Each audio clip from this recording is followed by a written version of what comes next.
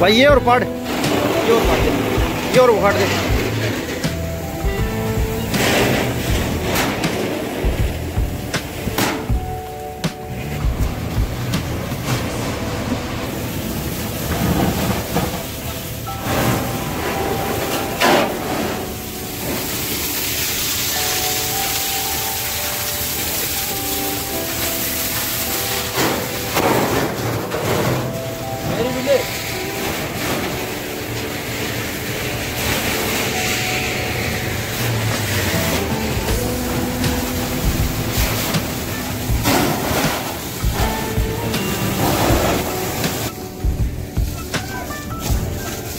Gidin var.